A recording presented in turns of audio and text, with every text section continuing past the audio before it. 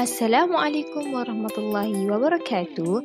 Bersama saya Ustazah Nabilah di bawah tajuk Sebab-sebab berhadas besar.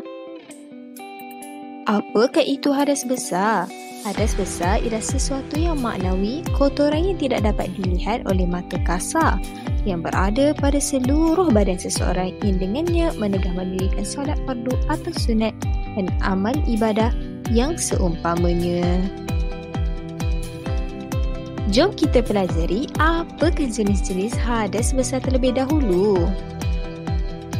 Terdapat lima jenis hadas besar. Yang pertama, keluar mani. Kedua, darah haid. Ketiga, nifas. Empat, mati. Dan yang terakhir, jima. Yang pertama, keluar mani. Keluar mani yang bermaksud sama ada dengan sengaja atau bermimpi.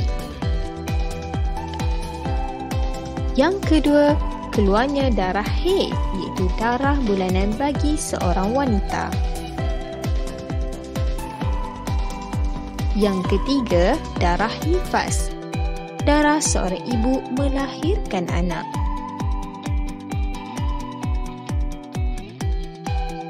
Yang keempat, mati. Kesemua kematian kecuali mati syahid.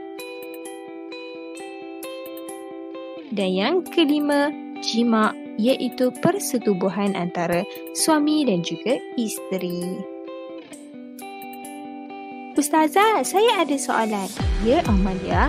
Jadi, jika salah satu daripada hadas besar ini berlaku, maka kita tak boleh solat kan? Betul, Amalia. Jadi, bagaimana kita hendak mengangkat hadas tersebut? Saya tahu.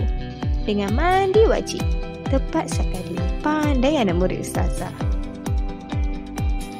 Kesimpulannya, jika berlaku kelima-lima perkara yang telah kita pelajari hari ini, maka kita wajib mengangkat hadas besar dengan melakukan mandi wajib bagi memudahkan kita melakukan amal ibadah.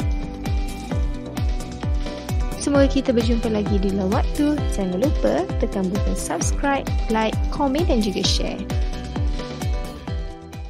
Created using Powtoon.